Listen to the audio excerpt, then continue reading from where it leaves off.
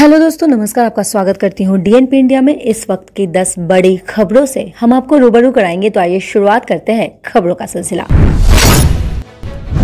प्रधानमंत्री नरेंद्र मोदी ने मंगलवार को असम, नागालैंड, त्रिपुरा, सिक्किम, मणिपुर, मेघालय, अरुणाचल प्रदेश और मिजोरम के मुख्यमंत्रियों के साथ वीडियो कॉन्फ्रेंसिंग के ज़रिए बातचीत करेंगे। देश में फ़िलहाल दूसरी लहर खत्म नहीं हुई है और पीएम लगातार कोरोना पर बैठक कर रहे हैं। हाल ही में मोदी कैबिनेट में हुए विस्तार के बाद पीएम मोदी की ओर से सभी से कोरोना की स्थिति पर नज़र रखने और गंभीरता से लेने के निर्देश दिए गए थे। अब कल पीएम मोदी कुल आठ राज्यों के मुख्यमंत्रियों से राज्यों में कोविड 19 की स्थिति पर रिपोर्ट लेंगे। प्रधानमंत्री नरेंद्र मोदी ने सोमवार को कहा है कि कृषि क्षेत्र में फ़सल काटने के बाद क्रांति की ज़रूरत है। इसमें उत्पादन में वृद्धि देखी जा रही है। प्रधानमंत्री मोदी ने कहा है कि मेहनती किसानों ने कोविड 19 महामारी की अद्भुतपूर्ण चुनौती के बावजूद जिनसों का रिकॉर्ड उत्पादन किया है। साथ ही सरकार का ध्यान युवाओं को प्रोत्साहित करने और कृषि क्षेत्र से जुड़े स्टार्टअप को बढ़ावा देने पर है। पूर्व के कैथोलिक और Malankara Orthodox Syrian Church of Indian यानी एम के प्रमुख बेसिलियस मार्थोमा कोलोज द्वितीय का लंबी बीमारी के बाद सोमवार को निधन हो गया है। प्रधानमंत्री नरेंद्र मोदी ने उनके निधन पर दुख व्यक्त किया है। राजपुरा में बीजेपी की बैठक के दौरान किसान के विरोध प्रदर्शन ने देर रात हिंसक रूप ले लिया। किसानों ने भाजपा के जिला सचिव डॉक्टर अजय चौधरी और अन्य नेताओं और उनके परिवार को घर में बंधक बना दिया और घर की बिजली काट दी। देर रात हाईकोर्ट को भाजपा नेताओं को मुक्त के आदेश देने पड़े। इसके बाद पुलिस ने किसानों पर लाठीचार्ज किया और भाजपा नेताओं को मुक्त कराया। इस बीच पुलिस ने तीन ज्ञात लोगों के सहित 150 अज्ञात प्रदर्शनकारी किसानों पर केस दर्ज कर लिया है।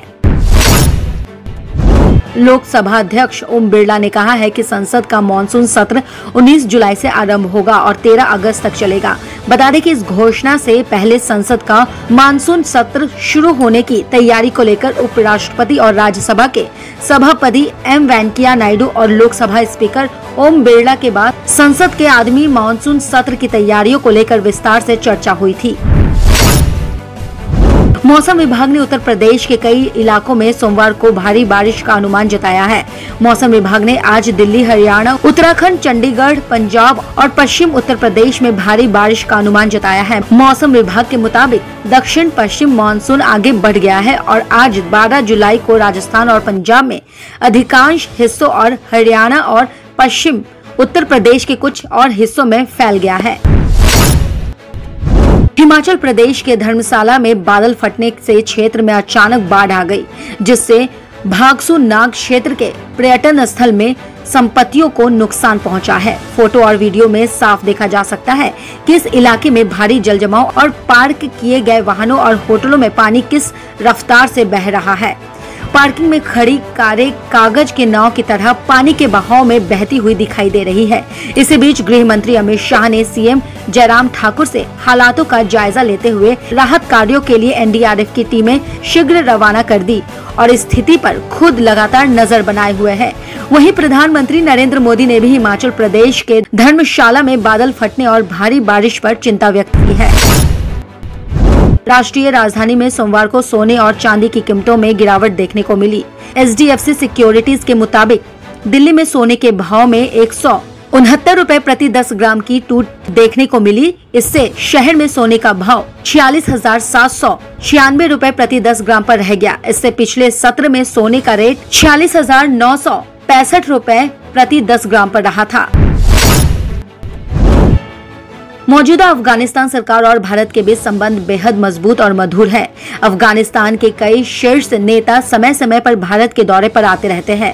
इससे दोनों देशों के बीच संबंधों में गर्मजोशी का पता चलता है। इतना ही नहीं, भारत अफ़गानिस्तान में अरबों डॉलर लागत वाले कई मेगा प्रोजेक्ट पूरे कर चुका है। कुछ पर काम भी चल रहा है। दूसरी ओर, अफ़गानिस्तान सरकार पाकिस्तान पर अपने यहाँ आतंकवाद को प्रायोजित करने का आरोप लगाता रहा है। अलबत्ता पाकिस्तान और तालिबान के संबंध काफ़ी मधुर है।